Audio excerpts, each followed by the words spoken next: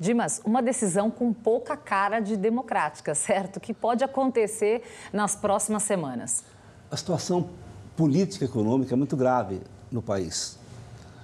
É, 25% da população desse país está na linha da pobreza absoluta. 70% da população do Equador é, é informal, tem emprego informal. Há uma crise de segurança profunda em que ocorreram centenas de homicídios e sem controle.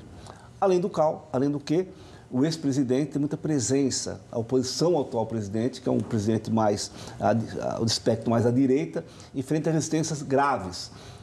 Ele, lança a mão novamente no argumento constitucional que ele tem de dissolver o Congresso antes de ser cassado. Ou seja, ele fez como se fosse um habeas corpus preventivo do seu mandato. Eu Estou achando que não vai ter, vai ter jeito. Haverá novas eleições, uma crise profunda, que o grande impacto disso é a falta de emprego, a economia fraca e a segurança pública numa situação absolutamente incontrolável lá no Equador.